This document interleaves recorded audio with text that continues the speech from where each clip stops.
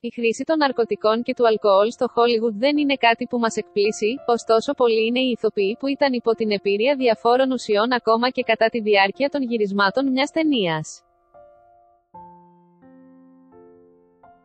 Πόσο φτιαγμένος ήταν ο Kevin Spacey σε μερικές σκηνές του American Body, πόσο λιώμα ήταν ο Ρόμπερτσο στα σαγόνια του Καρχαρία, ήταν ποτέ νυφάλιος ο Jack Nicholson στην επική ταινία Easy Reader. Δείτε όλες τις απαντήσεις παρακάτω.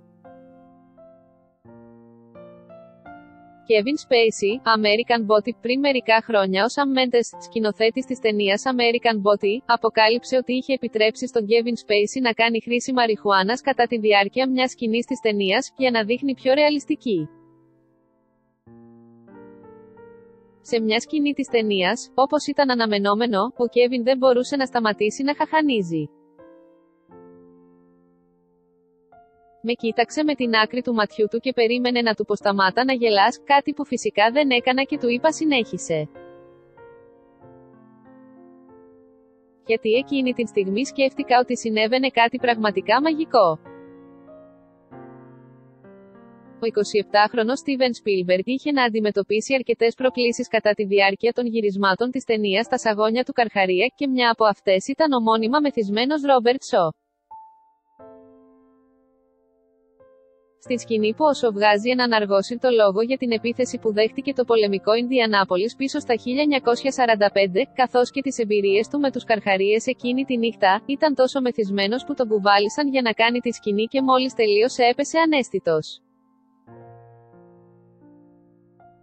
Αν και μεθυσμένος ο Σο, ο μονόλογος του έγινε ένας από τους πιο εμβληματικούς στην ιστορία του κινηματογράφου. Το ξένιαστος Καβαλάρης θεωρείται η απόλυτη ταινία με ναρκωτικά, αυτή που γέννησε μια ολόκληρη κουλτούρα και έμεινε θρηλυκή. Σε σύγκριση με τον σκηνοθέτη Ντένις Χόπερ και τον πρωταγωνιστή Πίτερ Φόντα.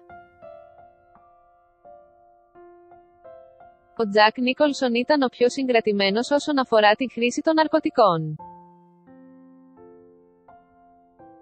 Όλες οι σκηνές χρήσης μαριχουάνας που περιέχει η ταινία του 1969 είναι αληθινές. Ο Νίκολσον έχει αναφερθεί σε μια σκηνή της ταινίας, όπου είχαν κατασκηνώσει γύρω από μια φωτιά, λέγοντας «Ήμασταν όλοι φτιαγμένοι εκείνο το βράδυ». Η συζήτηση για τα UFO μοιάζει αυτοσχεδιασμένη, αλλά στην πραγματικότητα ήταν σχεδόν αυτολεξή από το σενάριο. Φήμες λένε ότι καπνίσαμε 155 τσιγάρα εκείνο το βράδυ, κάτι που δεν ισχύει.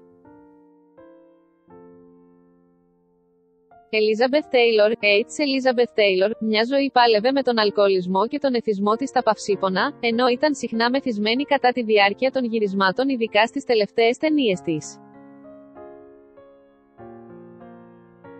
Ο σύζυγος της Ρίτσαρντ Μπάρτον, είχε γράψει στο ημερολόγιο του το 1983, ότι σε ένα θεατρικό έργο που πρωταγωνιστούσε με την Ελίζαμπεθ, ήταν τόσο μεθυσμένη που δεν μπορούσε καν να διαβάσει το σενάριο.